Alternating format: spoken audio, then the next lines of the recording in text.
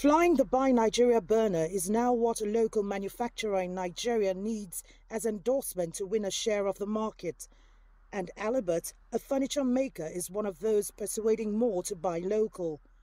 Its factory in the capital Abuja is already getting busy. We find hundreds of workers cutting, stitching fabrics, and market executive furniture for the local market. The company says it's also targeting the wider West African market. Alibert started here in 1974 when the manufacturing culture was not taken seriously. But all that is changing now with plummeting oil prices. President Muhammadu Buhari's administration is pursuing an economic diversification policy and local manufacturers are now being promoted. No direct incentives are provided for local industries, but Nigerians are being encouraged to buy locally made goods. The idea is to free pressure on the country's dwindling dollar reserve. What's more, manufacturing plants like Alibert are seen as a source of employment for Nigeria's unemployed youth. I have 1,000 Nigerians working in my two factory. Okay? What I have, thousands of people can create in, in another uh, another product. We have lot of items. It need encouragement to be able to produce it locally and exported. We have a lot of raw material, sources of raw material that we can develop, process it, and export it, selling it locally to, re to replace the importation and export it and generate foreign currency.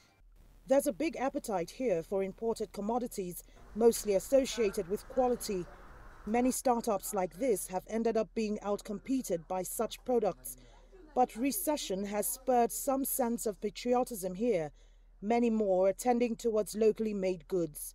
Even if I have choice, or if I have a passion on, a different passion anyway, on a foreign made items, I will not go for it, especially at this time around, because there has been a lot of campaign from my government on locally made products.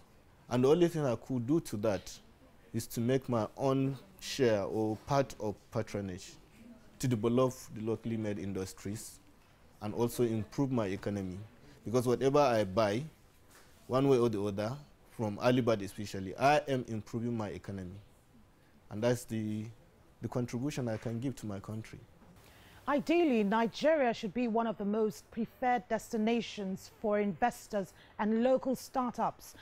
Its 170 million population is unmatched on the African continent, but businesses like Alibert want the government to do a lot more, especially in fixing the country's erratic electricity supply, transport infrastructure and security of business and its workers. The government has already indicated that its 2017 budget to be presented in weeks will focus on spurring private sector growth. Many potential investors will keenly look out for what the next budget proposal has to spur business. Kelechi Emekalam, CCTV Abuja, Nigeria.